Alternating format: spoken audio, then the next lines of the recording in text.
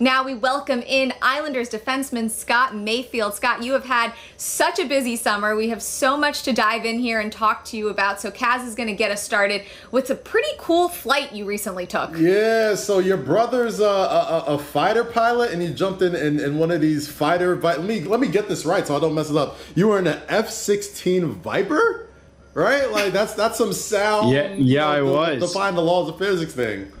How's that? Yeah, it was. Um, it was pretty crazy. It was, you know, it was a lot of fun, but it was definitely something uh, not a lot of people get to do, especially with a family member.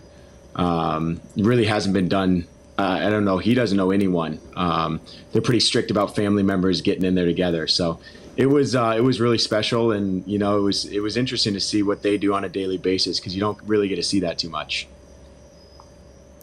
I was reading an article that was written just about the whole experience, and you know, your brother was talking about when he was deployed in Afghanistan, he would have just enough Wi Fi to kind of watch you play your games, and, and he was so impressed with the journey that you took. And he's taken such an impressive journey as well. I believe he's a captain, correct? Yeah, he's a captain. So, what, when you had this chance to be with him, doing exactly what he loves and, and at such a high level, what was that feeling like for you guys?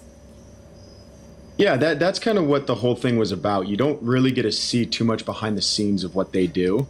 Um, you know, I was at University of Denver and he was at the Air Force Academy in Colorado. So I got to go to a class. I got to kind of see his day to day there a little bit. But as far as the other stuff, the flights, how they train, all that, I never got to see. So they were kind of relating. Um, they're, they're they're creating a new system. Uh, it's called optimizing the human weapon system. And so what they want to do is kind of compare it to athletes a little bit. And so that's kind of what it, was involved was me seeing their workouts, seeing the nutrition stuff, seeing all that and what they need to do on a daily basis and then comparing it to what we do.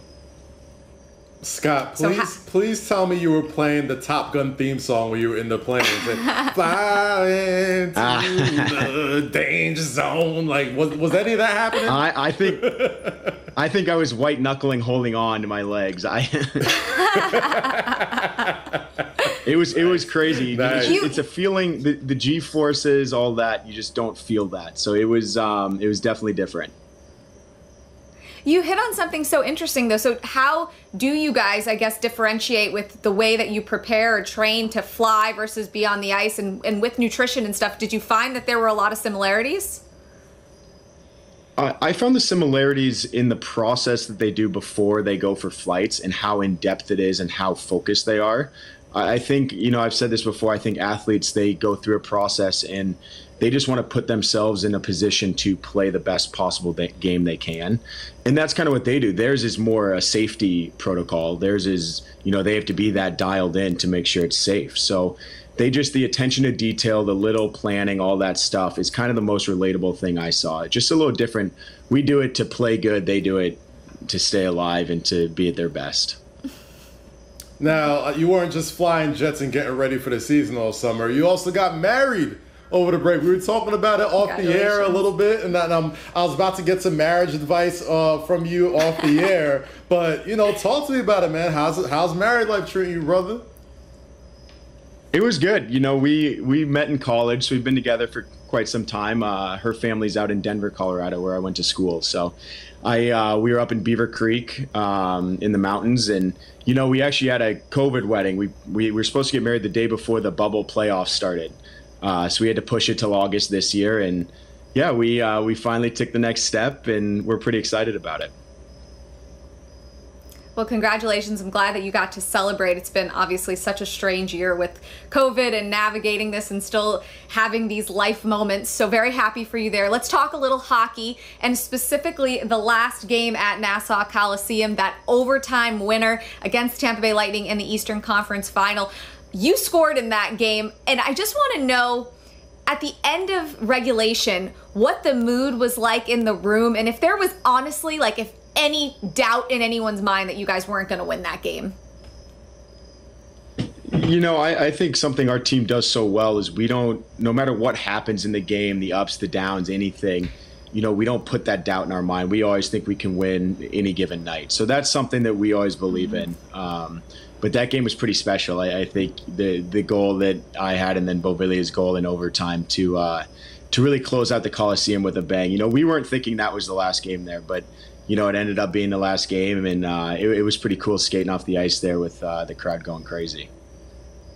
In addition to the Islanders and incredible several seasons you've had over the past year, this season you're opening up the brand new state of the art UBS Arena where you'll be playing all your home games this year. I know you've gotten to take a lay of the land so far and check it out. Like, what can fans expect when they walk into that UBS Arena for the first time to cheer on those New York Islanders? I, I mean, I think if you go look at the pictures, it's uh, it's pretty incredible. Uh, you know, it's going to be top notch, state of the art, everything. Um, I mean, here it is. It's beautiful. So I, I think uh, we're going to have the same environment, hopefully, that the Coliseum has. Pretty loud in there um, pretty crazy, especially in some of the big games, Ranger games, all those. So it's uh, you know we're all very excited about it. We can't wait. Um, got a little road trip to start the season, but uh, once we get in there, it'll be pretty cool. You've got it. You just mentioned that road trip. So you've had two incredible regular seasons. The same team has had your number in the Eastern Conference final. Obviously, though, that team went on to win back to back Stanley Cups. What did you learn about those games? And as you prepare for yet another season, how do you think your team can really take the next step and just get over that hump?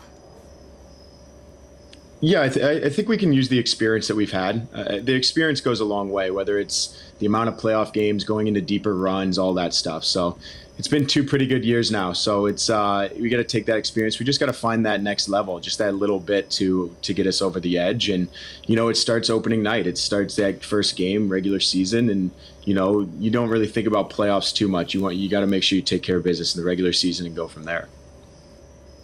You know, it's your sixth season as a New York Islander, and through all those seasons, you've had the same tag team partner really on the defensive line uh, as, a, as a defenseman, and now you're starting a whole new season with a whole new partner trying to hold down that line. What's that going to be like? What's going to be some of the adjustments that you're going to have to make uh, going into the season with a new partner? Yeah, I, I think you know um, my partner definitely is not here anymore, so it's uh, it, it's a little it's tough. It's going to be a little bit different, but at the same time, you know we've we've played with other guys before. Um, some teams don't even run the same two guys every game, so it uh, it's just an adjustment. It's something that you know you you have ways to to kind of combat it, whether it's communication, playing with each other before, stuff like that. So it's uh, I'm excited. I don't know. We have no idea what's going to happen at the start of the season. Who's playing with who? What's what's going to happen? So right now it's just focused on me playing my best, getting into camp, and being ready.